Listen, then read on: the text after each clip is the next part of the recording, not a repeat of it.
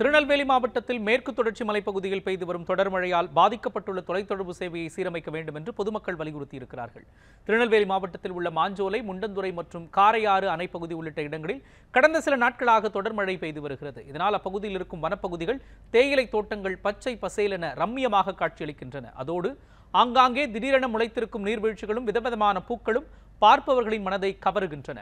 இதற்கிடையே மழையால் மாஞ்சோலை செல்லும் சாலைகள் சேதமடைந்திருப்பதாகவும் தொலைத்தொடர்பு சேவைகள் பாதிக்கப்பட்டிருப்பதாகவும் அவற்றை உடனடியாக சரி செய்ய வேண்டும் என்றும் பொதுமக்கள் கோரிக்கை விடுத்திருக்கிறார்கள்.